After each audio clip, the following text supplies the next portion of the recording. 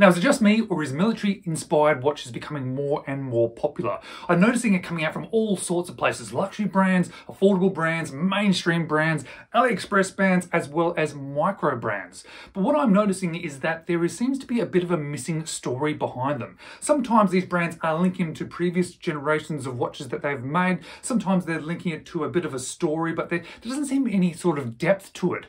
Well, Praesidus seems to be doing something rather different, and that's the watch I'm going to be showing you today because not only are they inspired by a style of watch, they're actually inspired by a specific watch and they're also inspired by a specific person.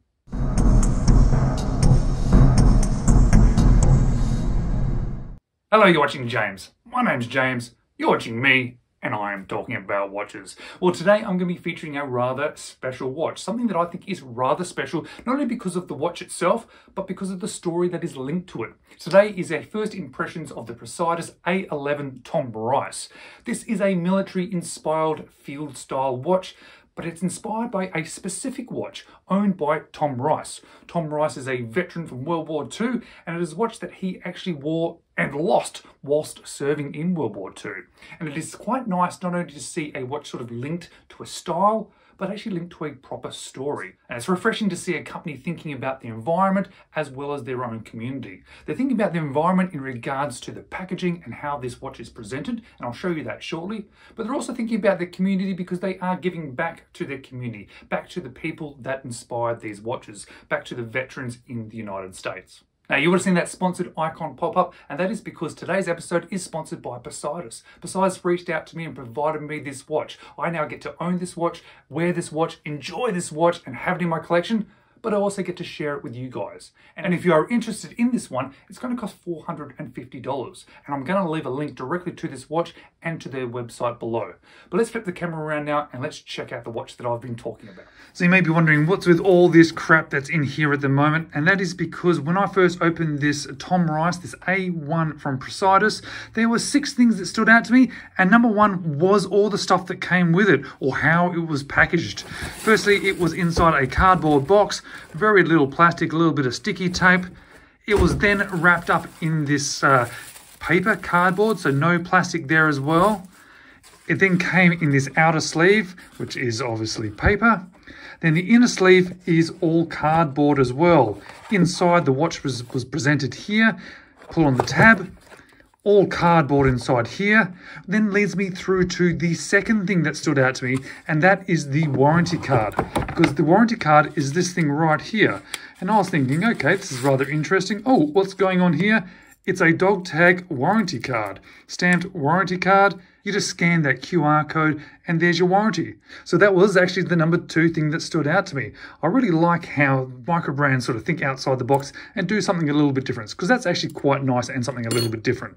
Number three actually relates to the watch. And that number three thing specifically is this sort of halo effect that this crystal gives this watch. When I opened it up, I was standing in my kitchen, it was dark and the lights above were shining onto that crystal. And as you can see, it's a really cool double dome crystal, but there's quite a bit of a sort of turn there and it was casting a bit of a halo on the dial, this really interesting light effect. You can sort of see it under these studio lights, but not quite as well. I'll try and put a photo or a bit of uh, footage on the screen now to show you what I'm meaning by that. And the number four thing that stood out to me, it's probably my favorite thing so far, is the mixture of finishes that they've used.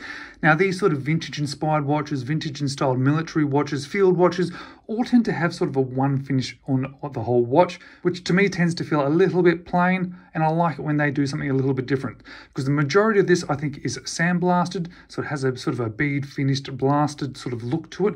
But on the top of the lugs, it's polished, and on the end of the crown, there's a bit of polish as well. It just breaks it up. It's done really well and it just looks a little bit different. It's nice just to break up that sort of one look throughout the watch. Number five thing that stood out to me is the strap. It's really shiny. I'm not sure if this light is going to show it, but it's made out of nylon. It's really soft, very comfortable on wrist. Probably not exactly the style that I want. I think I'll try it on some other straps later on, but it's really nice, but it's really shiny. And I know that's not something that's particularly interesting, but hey, it stood out to me, and this section of these videos are things that stood out to me. But number six is actually the info that's on the back of this watch, because not only does it say that it is a Praesidus, it is the type A11, it is Tom Rice. Tom Rice is the 10th Airborne Division, June 6, 1944, The Lost Watch of D-Day. So this is actually recreating a watch that was worn by Tom Rice on D-Day the watch that he actually lost.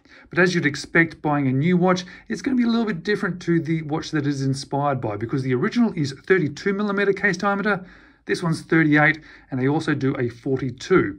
This one's made out of stainless steel, whereas the original was made out of chrome covered brass.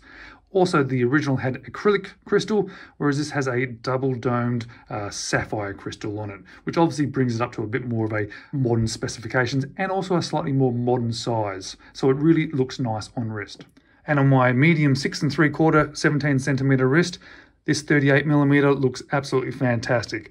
Very, very legible, really nice and easy to look at, very comfortable on wrist, sits down nicely as well, just a really lovely watch. In fact, it's even better than I expected after seeing it in photos. Now, as always, I'm going to be wearing this for a fair bit before I do the full review, but between now and then, how about you check out these two videos?